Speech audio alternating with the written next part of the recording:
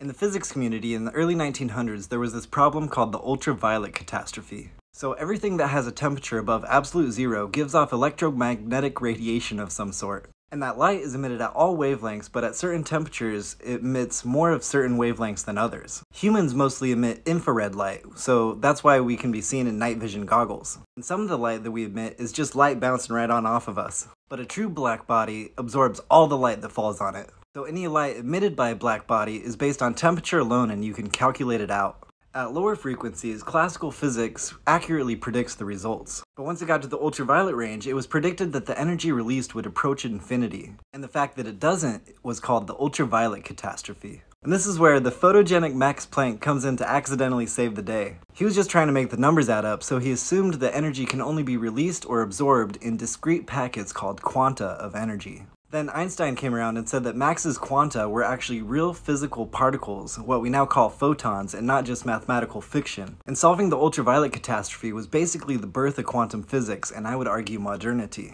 And for suggesting that there are fundamental natural units for length, time, mass, and energy, Planck had buttloads of things named after him.